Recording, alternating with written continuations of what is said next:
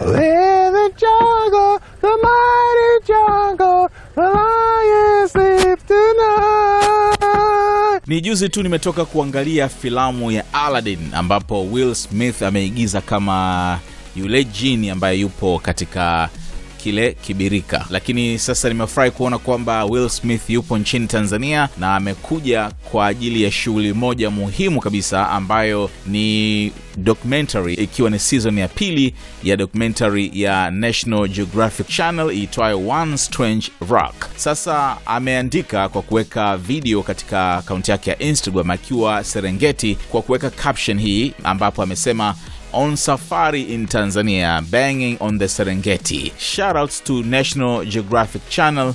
Just started shooting season 2 of One Strange Rock.